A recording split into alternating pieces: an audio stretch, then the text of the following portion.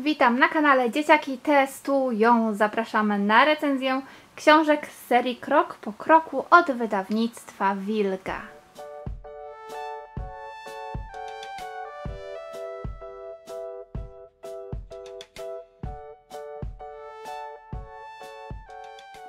Jest to seria małych kartonowych książeczek z zaokrąglonymi rogami dla najmłodszych czytelników. I mamy w tej serii, ukazały się w tej serii dwie nowości, czyli mały i duży, książka o przeciwieństwach.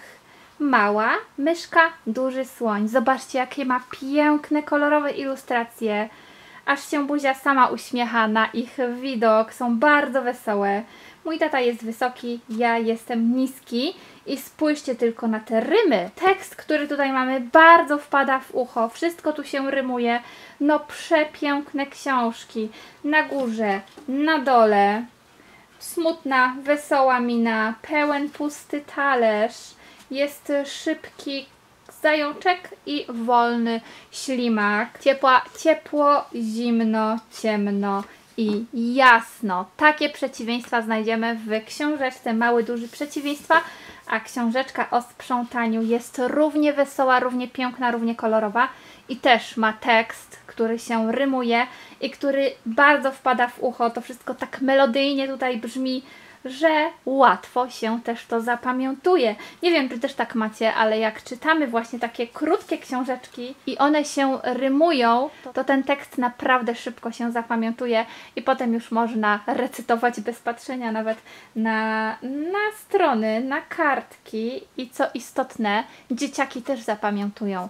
Małe dzieci strasznie szybko zapamiętują. Oli nie jeden raz to udowodniła po milionowym czytaniu książki. Ona po prostu później brała i opowiadała słowo w słowo. I właśnie z książeczek tego typu ona później opowiadała treść bez czytania, no bo wiadomo, że czytać jeszcze nie potrafi, potrafiła powtórzyć wszystko słowo w słowo.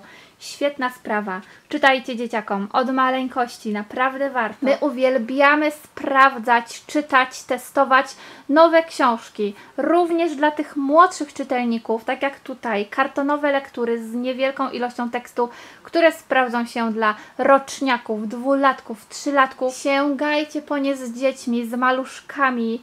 One naprawdę chętnie będą czytać. Trzeba im tylko dać szansę. Jeżeli macie maluchy, które niekoniecznie sięgają po książeczki, które niekoniecznie sięgają do czytania, to nawet dawajcie im do oglądania. Książki kartonowe są doskonałe do samodzielnej zabawy, bo dziecko tutaj nic im nie zrobi, nie wyrwie kartek, może sobie oglądać. Zobaczcie na te ilustracje, są przepiękne, kolorowe. Myślę, że przyciągną wzrok malucha i dziecko sobie ogląda, my gdzieś tam kątem oka próbujemy mu przeczytać, co jest napisane, czy też opowiadać. No i tak się właśnie zaczyna wspólne czytanie. I polecam Wam zajrzeć na stronę wydawnictwa Wilga, na tę serię krok po kroku. Piękne są te książki. Warto po nie sięgnąć, a więcej o nich na blogu w opisie do filmu jest link. Zapraszam Was tam bardzo gorąco, a ja się już żegnam. Do usłyszenia w kolejnych viel macht.